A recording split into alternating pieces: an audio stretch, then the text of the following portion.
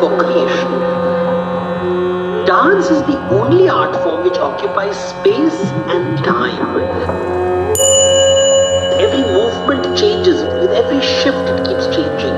Um, Vishnu is dancing to enchant people to participate in life. Shiva is dancing, his eyes are closed. Nataraj eyes are closed. He's not performing. He's not performing for anyone. He's performing for himself. He's an ekant. He doesn't care whether anybody is looking at him. Shiva represents looking inwards.